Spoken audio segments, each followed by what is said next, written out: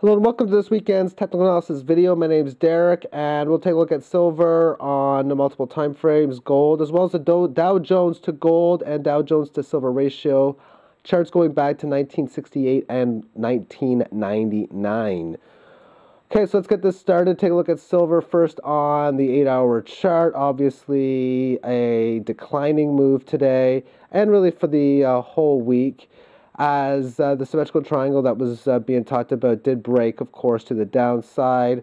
And we look at this on the uh, daily chart. We can uh, just take a quick little look at the triangle itself, and it would be roughly somewhere like this.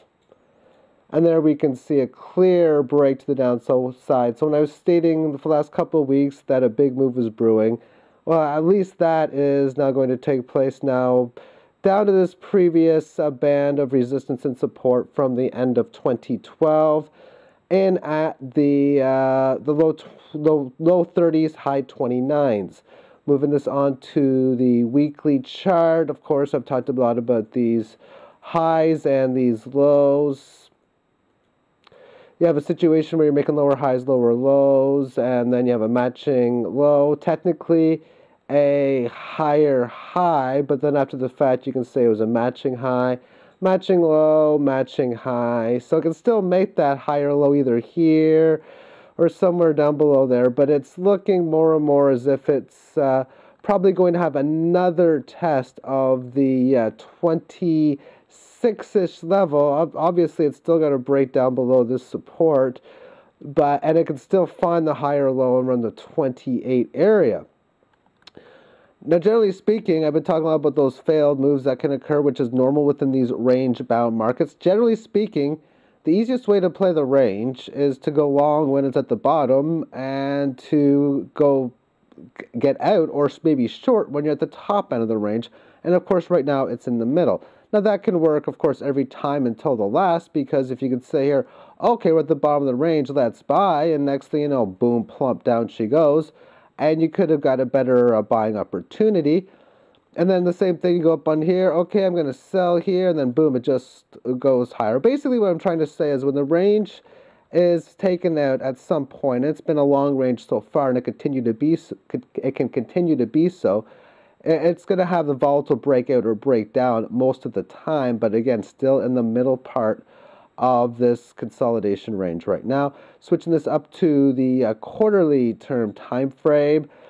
And I've talked about this quite so often. We're looking at Fibonacci from this low to this high, having support right now at the uh, 23.6. So it says 76.4 on the left-hand side, but this is from here to here is 76.4%, which means the difference from there to there is the remainder of 23.6. So it's found some support there on multiple occasions at big level I was talking about, which is around the low 26s. If this area is taken at this next significant area, area is in the low 20s and high 18 and all of the 19 level as the uh, next support area. If, of course, that happens, would that break the trend? Well, did it break the trend down here? I'll be saying for sure, without a shadow of a doubt, that a breakdown below here is going to be giving obviously great buying opportunities. It probably will take longer, of course, to break that 50 barrier. How long that will take, I have no idea. Okay, so that's the uh, silver analysis. But before we finish off with silver, I want to talk about this indicator that I made this last week. It basically goes through 12 different moving averages and sees a deviant within them or the changes over how that moving average was one quarter of the periods ago. Tough to understand, but generally speaking, what it means is if it's in a negative situation, that means you can say it's oversold or great buying opportunities as long as it's uh, going to be in a bull market, which I think is the case with silver. And therefore, it's at around negative and a, negative a half, so it could still go down a little bit more, but obviously, when it's low like this, it's a good buying opportunity. Let's move this on now to a gold, which, unlike silver, it uh, did not stay above its uh, previous uh, low. It's made a new low today, obviously, and it did barely break below 1600 down to 1597. Obviously, this is in a bear market. If we take a look at this on the weekly time frame to get a little bit better of an indication, And we have this major range. Just like silver, let's just draw the highs and the lows in. You have a top that's been hit three times consecutively and a low that's been hit three times consecutively. The low is about 1525. The high is about 19. Uh, well, the high for this range is about 1800. Okay, so within this range, we can see that uh, it's been unable to get by this uh, significant fib level on three tests. The more often you test it, the more likely it is you take it out. It hasn't taken it out. Same thing, of course, down to support.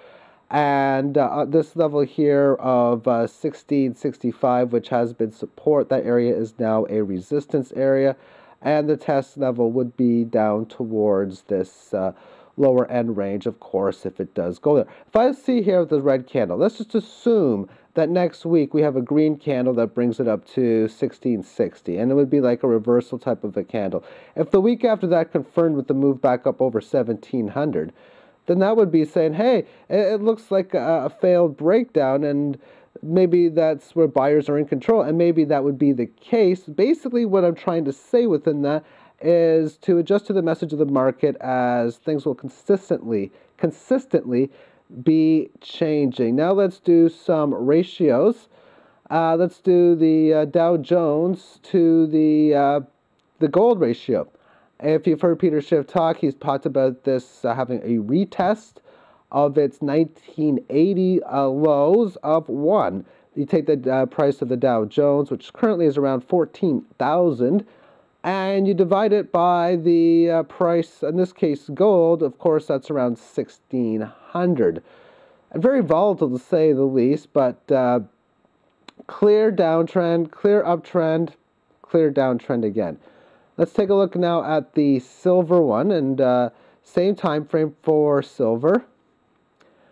You go from a low of 17 and a half all the way up to 2,587 and now back down to 469. To say that's volatile would be an understatement. In fact, in 1980, when it hit this low of 17.54, that was pretty much the same as the gold to silver ratio. After all, the ratio for gold and the Dow was 1 to 1.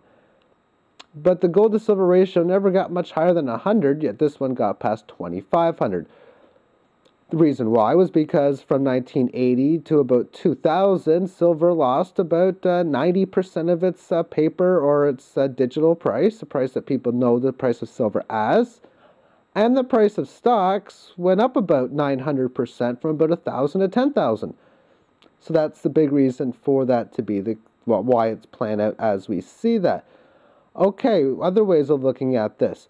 Well, the Dow's at 14,000 today well, back in 2007, when the Dow was 14,000, silver was like $15. Okay. And then you look back in here, well, when silver was 50, that means what was the Dow back then, like 11 or 12,000? So the Dows went up and silver's went lower. Well, that's basically the way it's it's been. But again, just like gold, clear downtrend, clear uptrend, clear downtrend nothing has been done yet to really shake this market out as far as changing the reversals, but what we'll do is adjust the time frame from this high to where we are now. And we'll start off with the silver and then finish off with the gold on that time frame, and the video will be done. Okay, so there's the high and there's the low. Notice this pattern in here. You go up to this high, pull back. Go up to this high, pull back, and it's back higher again. I call this in my book a double bottom. A double bottom is where you, and you can even make this an inverted cup and handle, either way, same formation, is where you go down like that and then you do it again, matching up, matching up with the previous highs. If we take a look at a projected uh, uh, location for where it would go to, I would say roughly around here. Now let's look at what may happen if it were to go up to the significant fib level. That level is uh, 609 and change. So let's assume that uh, it is 609 and they bring the price of silver, excuse me, down to 19. That means the price of the Dow would be about 11,500. Now the fiscal cliff is, or not the fiscal cliff, that's old news. The debt ceiling is uh, coming into play pretty much any time now, and there's a decent chance or a high probability chance that there's a significant retracement in stocks. 14,000 down to 11.5 would be a loss of about 2,500 or that of a little over 20 or almost 20%. That's enough to get people nervous, rattled, and shaken. And if silver goes through a same decline at the same period, then it would just make like make it likely that the 26 level would break with the fast move spanning probably one to two weeks, taking it down to 18, thus making it towards this level. And here, if that's the case, there'd be nothing to change the trend below this uh, running average from this high. And uh, for this two reverse trends, it's the same thing for I'm going to say all the time. create a significant breakout come back, find support within this band, and then break whichever resistance you establish. A long ways away from doing that. Final chart will be the gold to silver, or excuse me, the I'll do the gold to silver ratio probably next weekend. But for now, this will be the Dow Jones to uh, gold for the same period of time I just showed. Same sort of uh, deal within this moving average. It's had a break. Yeah, it doesn't mean too much yet. Established resistance come back to this average, then break resistance to make it a uh, reversal of trend. But there's nothing to show that it's uh, going to reverse its trend. Of course, right now, in a downtrend, I would expect it to stay in such. Thank you for tuning in. Bye bye.